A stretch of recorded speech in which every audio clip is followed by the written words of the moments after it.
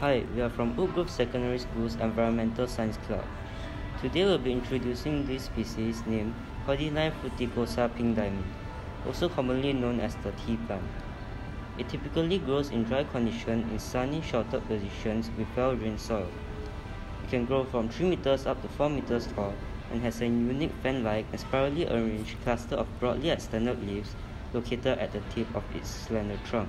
Some features include its glossy leaves and striking reddish-purple strips of color. Some interesting facts about it is that its leaves were commonly used in the South Pacific for traditional medicine, for example, as a treatment for asthma.